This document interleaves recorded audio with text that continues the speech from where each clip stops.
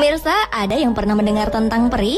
Peri dikenal sebagai makhluk yang memiliki kekuatan gaib yang kadangkala turut campur dalam urusan-urusan manusia. Makhluk yang sering ada di cerita fiksi atau dongeng serta bagian dari mitologi ini digambarkan ada yang baik dan juga jahat.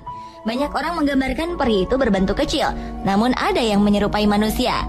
Namun demikian, walau keberadaannya antara ada dan tiada, tapi beberapa tempat di bumi ada yang dipercaya sebagai tempat tinggal para peri. Di mana sajakah itu?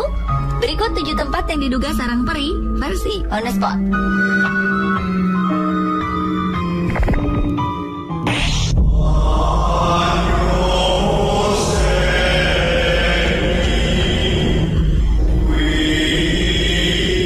Salah satu tempat yang dipercaya tempat keberadaan para peri adalah air terjun Chanchen di Pulau Jeju, Korea Selatan.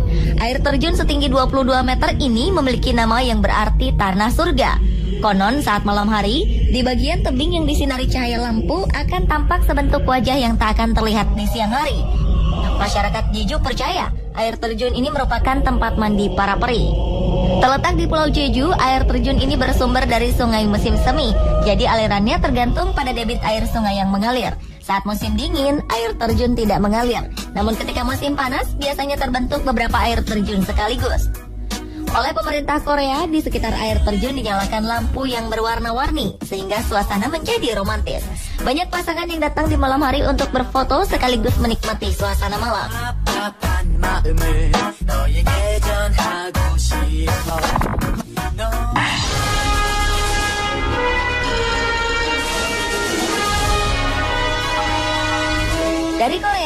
Menuju Skotlandia.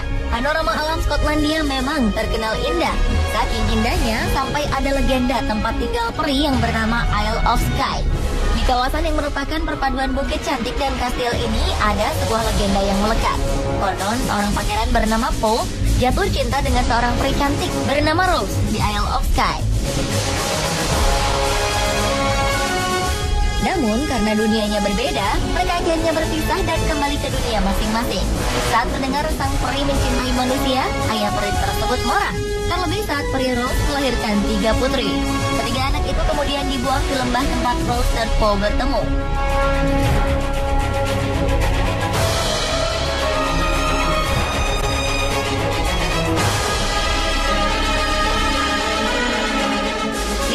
Ada sebuah bendera yang dipercaya merupakan hadiah dari peri untuk Pangeran Paul.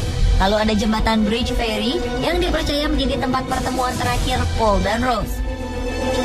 Kemudian ada Ferry Glen yang merupakan tempat paling populer karena pemandangan cantiknya. Dan ada juga kolam bernama Pool Ferry yang dikelilingi batuan cantik dan air terjun kecil yang mengalir deras.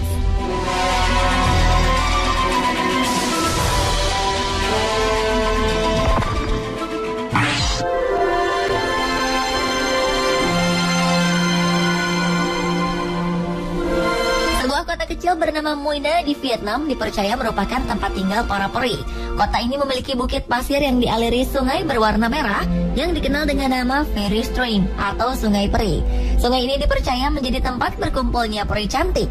Sungai Peri berisi tanah liat yang mengandung partikel batuan kapur. Kondisi inilah yang membuat sungai ini menjadi berwarna merah. Ternyata lumpur sungai ini juga menjadi daya tarik para pelancong untuk bermain noda. Terkadang masyarakat percaya jejak peri sudah tertinggal di lumpur tersebut ketika tidak ada manusia yang melewati lumpur ini.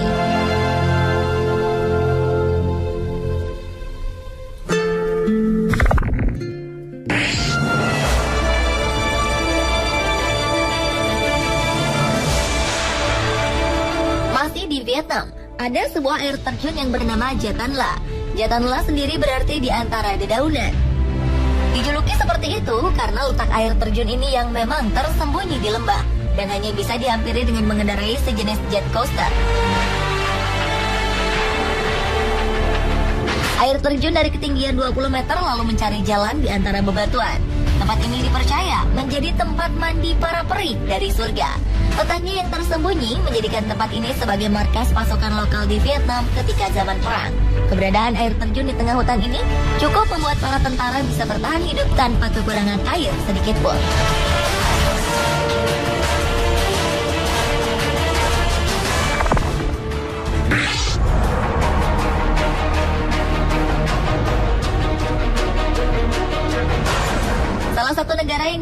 Sebagai habitat para peri adalah Islandia. Negara paling utara Eropa ini memiliki populasi manusia yang sangat jarang.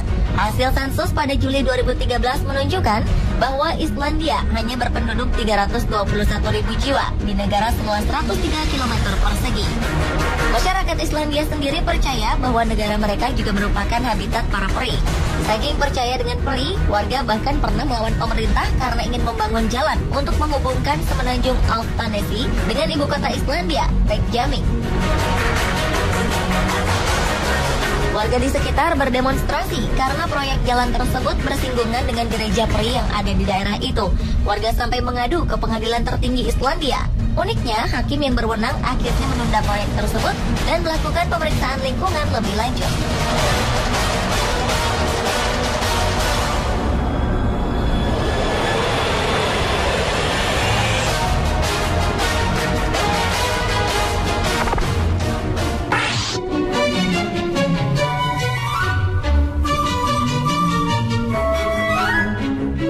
Keberadaan peri juga dipercaya masyarakat semodern Amerika Serikat. Di Danau Harriet, Minneapolis ada sebuah rumah pohon. Rumah berbentuk mini ini ada di dasar salah satu pohon yang berada di tepi danau.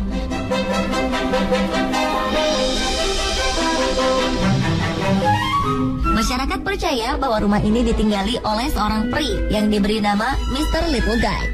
Setiap orang yang berkunjung ke rumah itu meninggalkan surat dengan cara memasukkan kertas ke dalam rumah. Isi surat itu bermacam-macam, seperti curahan isi hati. Uniknya, Mr. Little Guy akan menjawab semua surat pengunjung dalam beberapa hari. Sampai sekarang, tidak ada yang mengetahui identitas Mr. Little Guy ini. Dan sepertinya masyarakat tidak ingin mencari tahu, karena tetap percaya jika yang tinggal di rumah mini itu adalah seorang peri.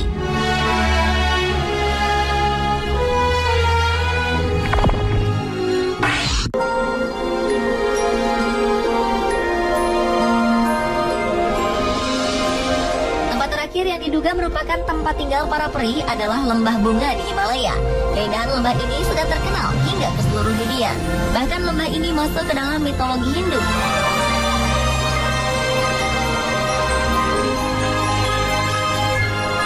Masyarakat setempat meyakini bahwa lembah yang dipenuhi oleh bunga-bunga berwarna-warni itu dihuni oleh kawanan peri karena peri dipercaya suka sekali dengan bunga dan tumbuhan yang cantik. Pada tahun 1982, lembah ini dijadikan taman nasional dengan nama Nanda Devi National Park.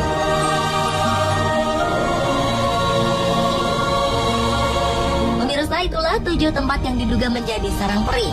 Cerita-cerita yang beredar adalah berdasarkan kepercayaan dan mitos yang berkembang di daerah tersebut.